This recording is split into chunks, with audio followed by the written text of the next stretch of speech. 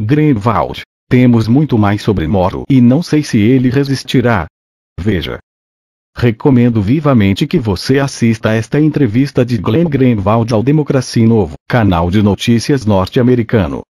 Em sua língua nativa, com as traduções no vídeo, o jornalista se expressa muito melhor do que tem falado aqui, confirma a existência de áudios no material que possui e assegura que vai divulgá-los em breve. A entrevista, nada parecida com as que se faz aqui, onde o centro das preocupações é a forma pela qual foram obtidas as informações, secundárias jornalisticamente, e não o que elas revelam, passa a ser o foco da imprensa. A segurança com que ele fala sobre o que está por vir é que fundamenta seu veredito. Não pode assegurar que continuará ministro, porque isso depende de Bolsonaro, mas crê que ele foi enfraquecido com o que se publicou e será muito mais com o que vai ser publicado. Não sei se ele sobreviverá a isso, diz.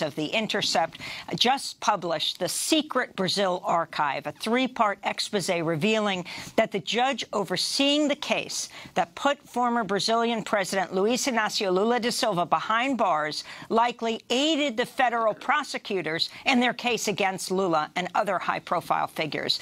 Lay out what you found in this three-part report, Glenn, and how it's rocking Brazil right now. Sure. So, as, as your audience likely knows, because I've discussed it with you many times and you've covered it with other guests, Brazil is a country that has been swamped by multiple political crises, the impeachment of former Workers' Party President Dilma Rousseff, who succeeded Lula, the ascension of this far right president, Jair Bolsonaro, economic crises and the like. But by far the biggest event in Brazil was the imprisonment last year of former President Lula da Silva, not just because he was such a giant on the world stage democratically, which he is, because he was elected overwhelmingly twice in 2002 and 2006.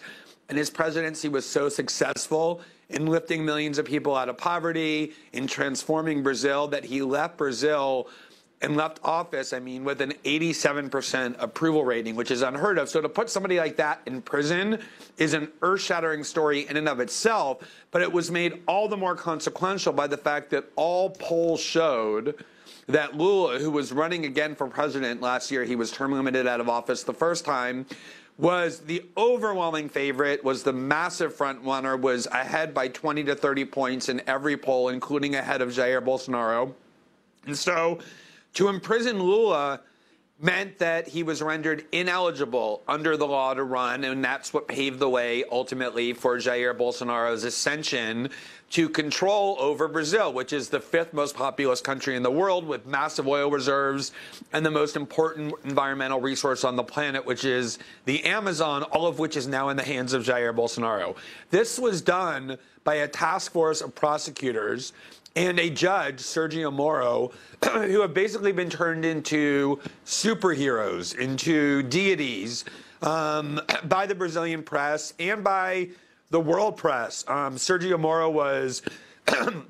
heralded around the world as uh, some great figure. He was named to the Time 100 uh, list in 2016 and went to the gala in New York. He was had a huge profile on him on 60 Minutes. That was a puff piece basically turning him into this noble anti-corruption figure. And there's been almost no questioning of anything that they've done, even though they've been using highly questionable practices. Here in Brazil, there's been a long time suspicion that they, in fact, were abusing their powers for political ends, that what they really were were right wing ideologues and operatives who were abusing the law to destroy the Workers' Party, one of the only left wing parties in the entire democratic world that has dominated politics in a major country and has succeeded in anti poverty programs in order to usher in the pro right faction into power, that they were abusing the law to basically put the leaders in prison to destroy the party. They've always vehemently denied this. They've said, we have no ideology, we have no party preference. We have we don't care who wins elections. We're only neutral judges and prosecutors applying the law. The archive that was provided to us by our source, this massive trove of secret documents about their internal communications, about their internal actions, their chats, their audios, their videos, a archive that, as I've said, is bigger in size than the Snowden archive was, which until that point was the largest leak in the history of U.S. journalism. Bigger than that, finally enables us to see the truth about what they really did. And the three stories that we published on Sunday, the reason they've shaken Brazil to the core is because Sergio Moro after Bolsonaro won, thanks to Justice Moro putting Lula in prison, became the second most powerful person in Brazil because Bolsonaro created what he called a super justice ministry that Sergio Moro now runs. He's the justice minister of the country. It's like being an attorney general, but on steroids, controlling all law enforcement, surveillance, police actions. And what this material shows are three key things. Number one, it shows that inside the prosecutor task force, they were talking openly about how they wanted to make sure that the Workers' Party lost the election. Um, and we can talk about the specifics, but in particular, there was a judge who authorized Lula to give an interview from prison 12 days before the election, and they panicked and they said, We need to stop this because if Lula is allowed to be heard from, he will there's a good chance he will make PT win the election and we need to put a stop to this. They said they were praying every day that PT doesn't return to power, PT being the Workers' Party.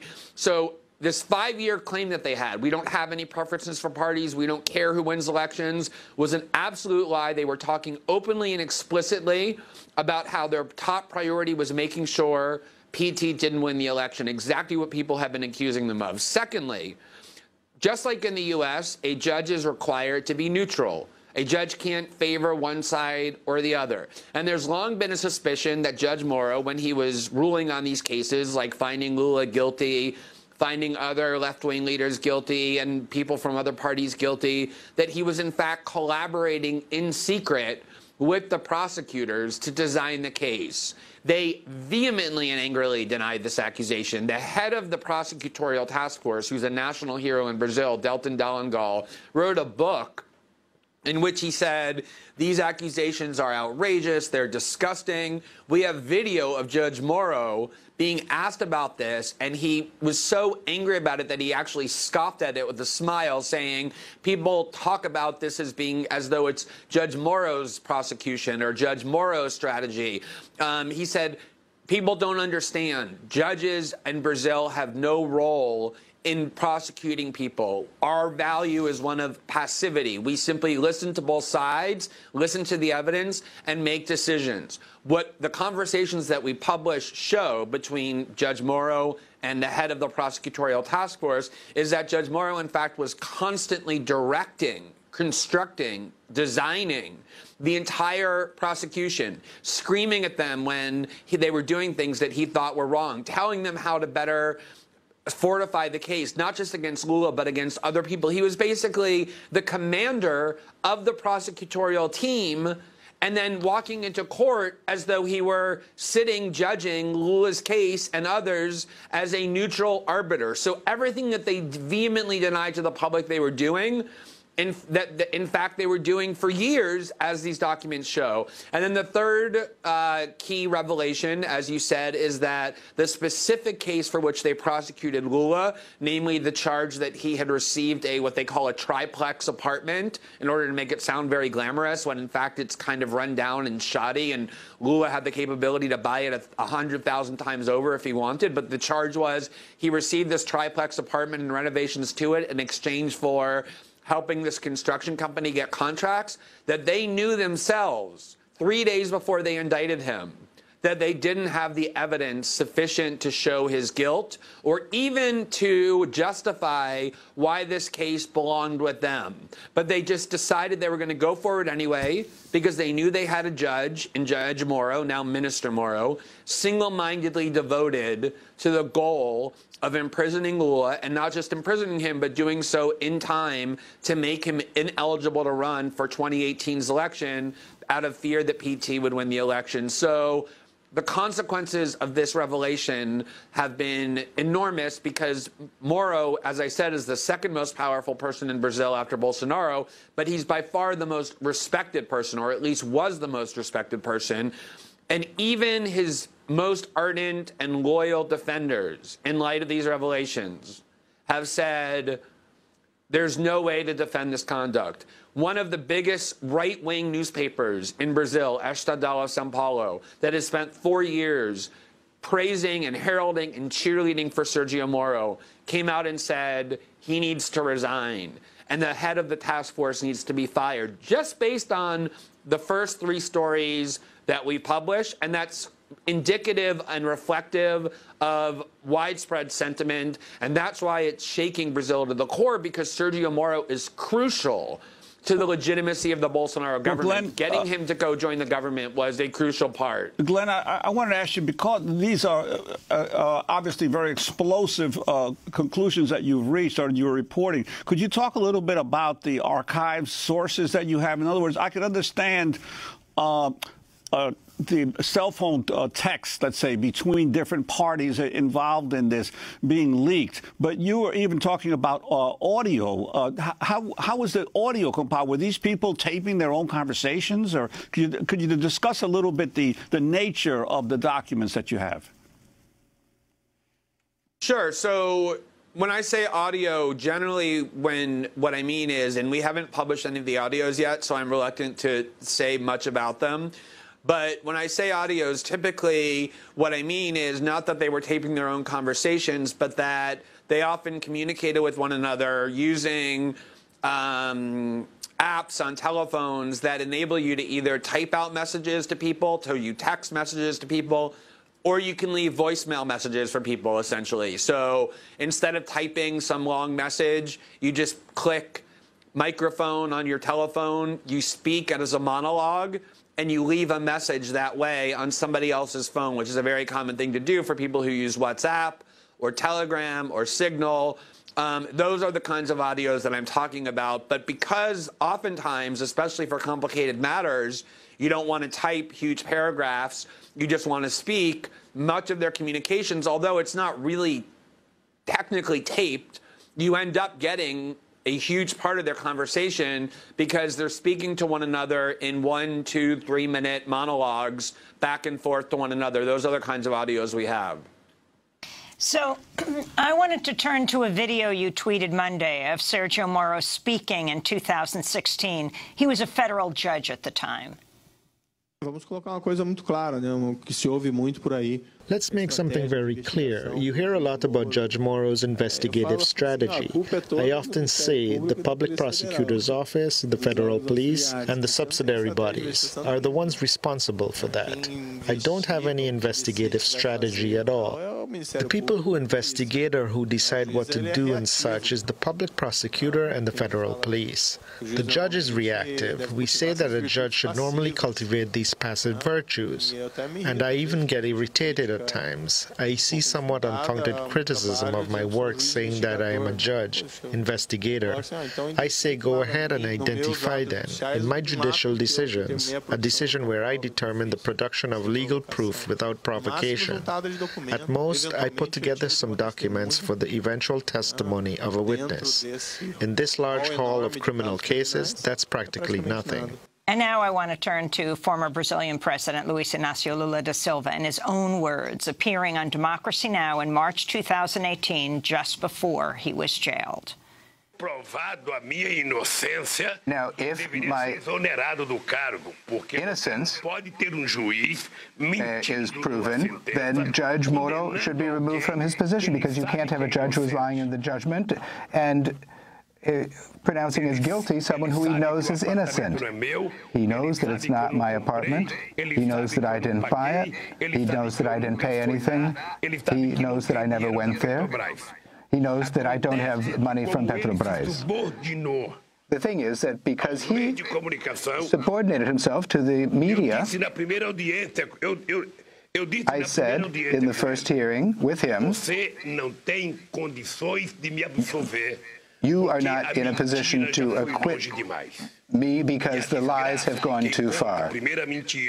And the disgrace is that uh, the one who tells the first lie continues lying and lying and lying to justify the first lie. And I'm going to prove that he has been lying. So that is um, now jailed former President Lula Inácio da Silva.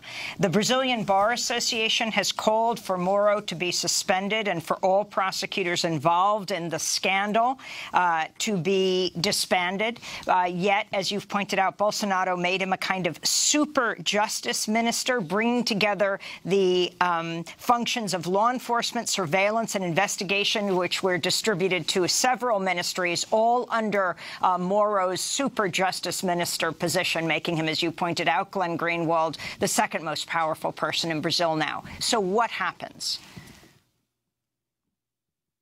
So it's, it's so fascinating because the story reminds me so much of the Snowden story in so many ways. One way, remember that the Snowden story essentially began when Snowden heard James Clapper go before the Senate and just look at them and just lie to their faces when he was asked, Are you collecting data about millions of Americans. And he said, no, sir, we're not doing that. We have no such program. And it was shocking to Snowden to watch somebody in that high of a position so sociopathically lie. And that's the thing that finally drove Snowden to, to decide with finality, I need to show the truth. That's the same reaction I have when I listen to Judge Moro look in the cameras and say, I get irritated at the notion that I have any involvement in the prosecution when I've now read all of the years worth of documents and conversations that we've, a lot of which we publish and will continue to publish, showing that he did exactly what he looked at the camera and with this smirk and just so smugly denied. It's just amazing, even though I guess it shouldn't be, the willingness of people in these high positions of authority to so, so sociopathically lie about what it is that they do. Um, and then the second issue is, you know, just like in the Snowden story, where people for years suspected that the NSA was spying, but were called conspiracy theorists or paran paranoid people, and then the evidence proved them right.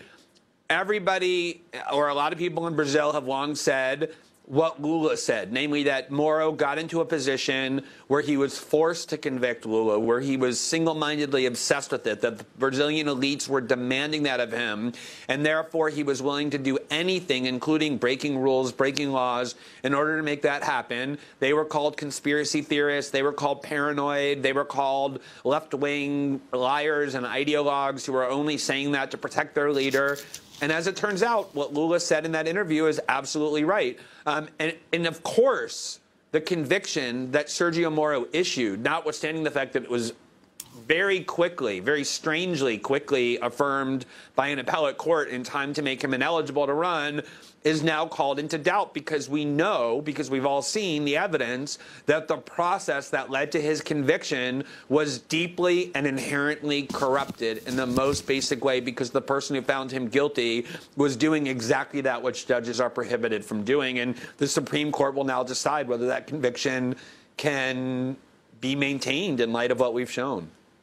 And Glenn, I want to ask you in a broader sense this uh, this whole issue of corruption in government and prosecutors removing or being able to jail or remove uh, uh, uh elected officials or or key political leaders. Uh, clearly, in a democracy, there's uh, in an, in industrial Western democracy, there's two ways to remove a leader: you vote them out of office, or you get them indicted and jailed and removed that way. to to what extent is this? A, a signal uh, to people around the world and other countries about the kind of skepticism that you should have about uh, uh, investigations coming at the top leaders. Uh, and of course, the, I'm sure there are people in the uh, Trump supporters here in this country who would point to the FBI agent Peter Strzok and Lisa Page, uh, the FBI counsel, as they were attempting to help remove Trump from office. But to what degree do you do you is this a warning? Warning uh, for people in other countries to be wary and skeptical, uh, even in the face of what seems initially to be uh, damning evidence against a political leader? Yeah, I mean, look, Juan, you know, as you know, as you guys know, um, I've been one of the people, along with Noam Chomsky and Matt Taibbi and a few lonely others um, on the left, who have been skeptical of the Russiagate story, in part because we know that these agencies have a long history of lying. And the FBI and the CIA and the NSA in the U.S. were vehemently opposed to Donald Trump and wanted Hillary Clinton because they trusted her much more. And so there was a concern always on my part that they were abusing their prosecutorial powers to interfere in, the, in our domestic election in the United States in order to help the candidate they wanted to win and hurt the candidate that they wanted to lose. There were other factions in the FBI, by the way, who wanted Donald Trump to win desperately and did their own abuse of power to hurt Hillary Clinton's chances and help Donald Trump win. So there were two different factions inside these law enforcement agencies interfering in the U.S. election by abusing their power to help the two candidates they preferred, which is an incredible, that was the real meddling. Uh, that was dangerous in the 2016 election. And of course, the parallel is very clear, which is that in Brazil, since 2002, the center right, the oligarchical class, which, by the way, got kind of comfortable with Lula and PT, but nonetheless still wanted the center right to be in power. And I asked Lula about that. Why would the elite be so opposed to you when the elite thrived under your presidency? Even though you lifted millions of people out of poverty, you weren't a socialist, you weren't Castro, you weren't Chavez.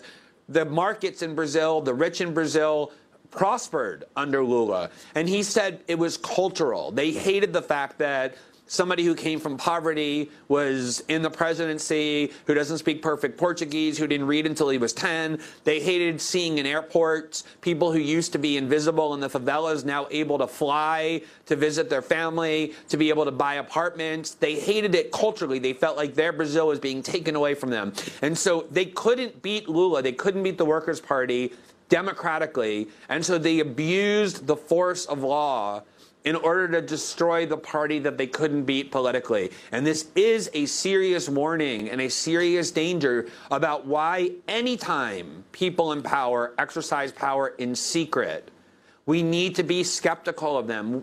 All human beings. And I believe that these prosecutors began with good intentions. Brazil really is a country that has been plagued by corruption on the left and the right for a long time. They're young people, they're in their 30s.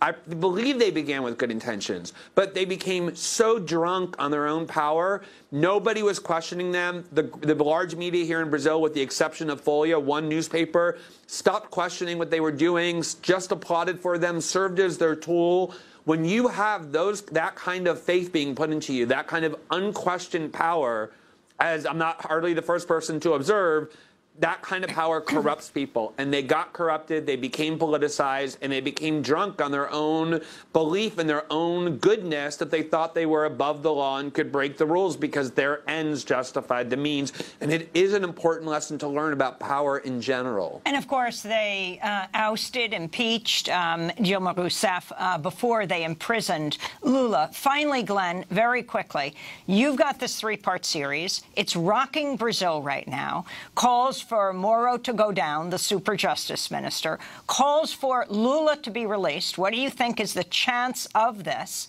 Um, and finally, you're saying this is larger than a Snowden cache of information. You have much more information that you haven't released. What are you doing with it?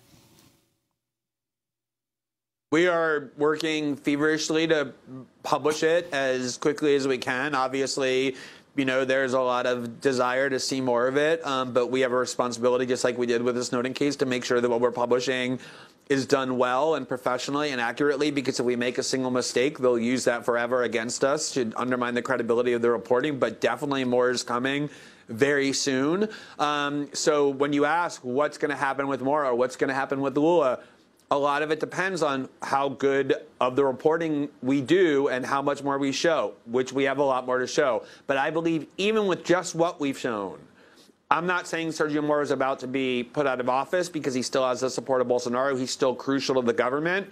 But certainly, he's severely damaged and weakened and will continue to be more damaged and weakened as we reveal more. I'm not sure he can survive that. But I do think there's a good chance that the Supreme Court will say that the conviction of Lula da Silva was a byproduct of so much impropriety that we cannot let it stand. That at the very least, he needs a new trial and needs to be let out of prison while this new trial proceeds. Glenn Greenwald, we want to thank you for being with us. Pulitzer Prize-winning journalist, one of the founding editors of The Intercept, has just published The Secret Brazil Archive. We'll link to it at Democracy Now!